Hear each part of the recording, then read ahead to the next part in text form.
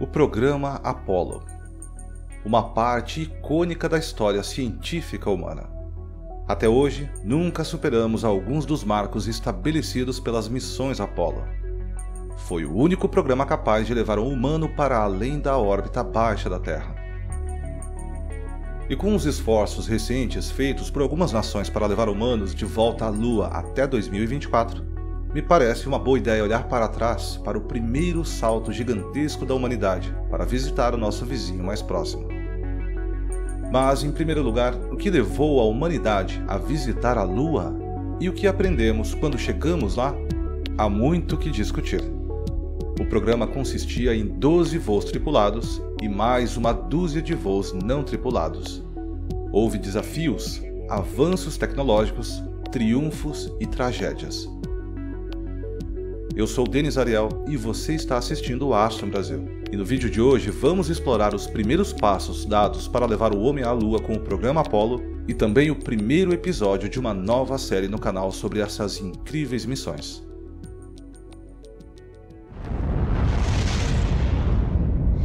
O programa Apollo da NASA foi e ainda é o maior programa de pesquisa e desenvolvimento já realizado por uma nação em tempos de paz. Durante o seu pico, a NASA empregava 400 mil pessoas, contando com o apoio de 20 mil empresas industriais e universidades diferentes, e representava 4,4% de todo o gasto orçamentário do governo dos Estados Unidos da América. Dado que atualmente a NASA representa apenas cerca de 0,5% dos gastos do governo norte-americano, isso levanta uma questão importante. Por que os Estados Unidos da América estavam tão focados em atingir essa meta? Em primeiro lugar, precisamos entender o contexto para a época e os motivos que levaram à criação do programa Apollo. E isso começa com o entendimento sobre a Guerra Fria. Após a Segunda Guerra Mundial, as tensões começaram a aumentar entre as duas superpotências globais, os Estados Unidos da América e a União Soviética, com cada uma querendo provar a sua superioridade. Entretanto, essa disputa ia muito além da rivalidade entre as duas nações lutando para competir. Devido às diferenças políticas, cada nação viu o sucesso da outra como uma ameaça ao seu próprio modo de vida. O governo norte-americano estava preocupado que, se a União Soviética se saísse bem, poderia ser o fim do capitalismo e da democracia.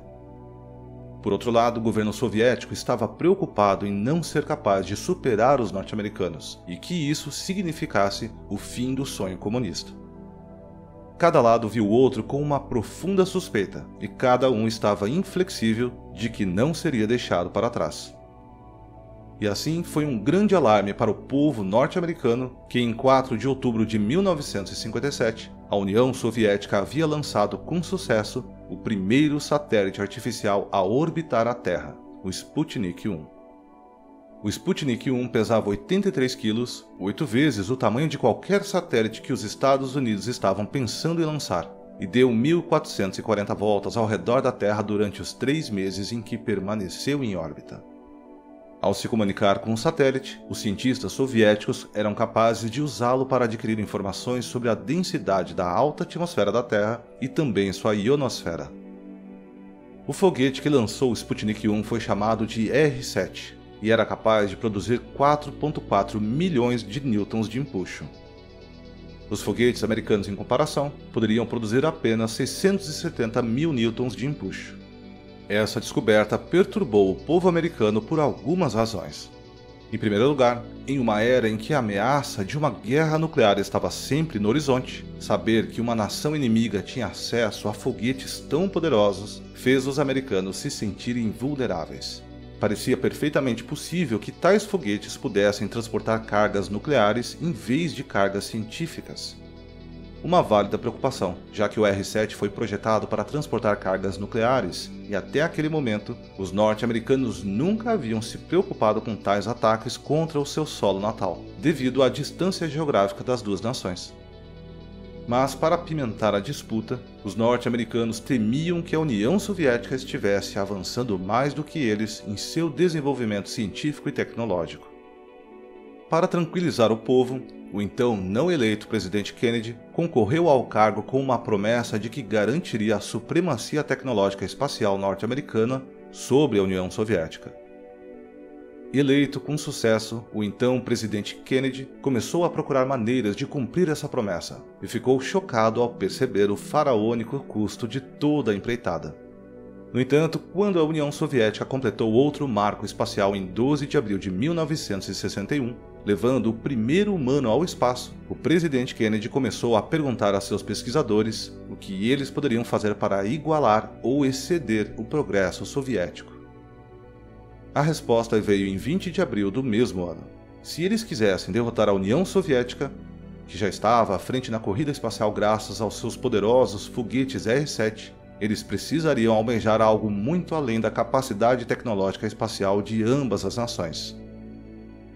O alvo sugerido era intencionalmente audacioso, projetado para impressionar todo mundo. A NASA colocaria o homem na Lua. Esse desafio exigiria grandes melhorias na atual tecnologia de foguetes norte-americanos. Eles precisariam produzir 50 vezes mais força para erguer todos os foguetes e módulos necessários para levar uma pessoa à Lua e trazê-la de volta. A NASA também exigiria um orçamento significativamente maior, que foi aprovado rapidamente. Em 1961, a NASA recebeu 744 milhões de dólares para seus vários projetos. Poucos anos depois, conforme as necessidades orçamentárias aumentavam, a NASA estava recebendo anualmente mais de 5 bilhões de dólares. A NASA começou a usar esses fundos para expandir suas operações, construindo novos locais de lançamento e centros de controle de missão, contratando novos funcionários e comprando equipamentos de pesquisa e desenvolvimento, como câmeras de vácuo capazes de quase simular o vácuo perfeito a NASA já estava considerando levar um homem à Lua no início de 1960, mas com essa infusão de recursos e o ímpeto político, eles começaram a considerar o problema com muito mais seriedade. Vários planos foram elaborados para explicar o processo de levar uma pessoa à Lua. Eles deveriam construir um foguete gigante que voaria direto para a Lua e de volta, em um plano chamado subida direta, ou talvez uma opção melhor seria um encontro na órbita da Terra? Com um planejamento de 15 lançamentos de foguetes para envio de várias peças para serem montadas no espaço? Houve várias dificuldades com esses planos. Em primeiro lugar, um foguete voando direto para a Lua e de volta seria extremamente pesado e precisaria de um incrível empuxo. Teria de transportar combustível suficiente para sair das órbitas da Terra e da Lua e esse peso extra estava ainda mais além das capacidades dos foguetes norte-americanos. A segunda ideia de um encontro na órbita da Terra para construir um foguete no espaço também era bem problemática. Isso contornaria a questão do empuxo, já que carregar apenas uma parte da espaçonave seria muito mais leve para cada foguete individual mas o lançamento de tantos foguetes aumentaria enormemente os custos gerais e a complexidade do projeto, já que cada foguete lançado custaria centenas de milhões de dólares, e montar uma espaçonave no espaço também não seria uma tarefa fácil. Finalmente, a NASA decidiu um plano que poderia usar os melhores elementos de ambos. A ideia deles era criar um foguete modular com um plano de missão que eles chamaram de Encontro Orbital Lunar. O foguete levaria dois módulos, um módulo de comando em forma de cápsula e outro segmento chamado módulo lunar, fora da órbita da Terra. Esses dois módulos viajariam juntos para a Lua. O módulo lunar, que era muito menor do que todo o foguete, se separaria do módulo de comando e levaria os astronautas para a superfície. Assim que terminassem lá, os levaria de volta ao encontro com o módulo de comando. Uma vez que todos os astronautas e amostras fossem transferidos de volta para o módulo de comando, e esse mesmo módulo viajaria sozinho de volta à Terra para finalmente cair no oceano. Parecia algo bastante complexo, mas esperava-se que fosse o modelo mais econômico tanto em termos de custo quanto em termos de requisitos de empuxo. Com esse plano em vigor, a NASA poderia começar a construção e os testes. Eles precisariam criar foguetes significativamente maiores e mais poderosos do que qualquer foguete já produzido antes. Eles precisariam colocar os seus próprios astronautas no espaço e testar exaustivamente cada estágio da viagem para garantir o sucesso do programa. Então é isso, o programa Apollo explicado. Quer saber o que aconteceu com cada uma das missões Apollo? Então, deixe seu like e inscreva-se no canal para não perder os vídeos seguintes desta nova série. E se você quiser saber mais sobre a nossa Lua, clique aqui na direita da tela para ter acesso a uma playlist muito especial sobre o nosso vizinho celeste mais próximo.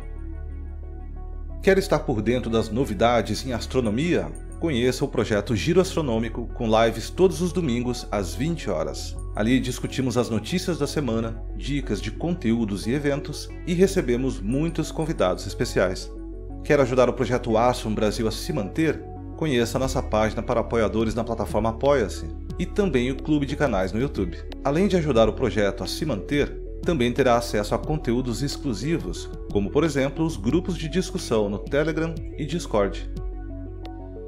Quero especialmente agradecer a todos os apoiadores e membros que mensalmente vêm ajudando esse projeto. Muito obrigado e até o próximo vídeo.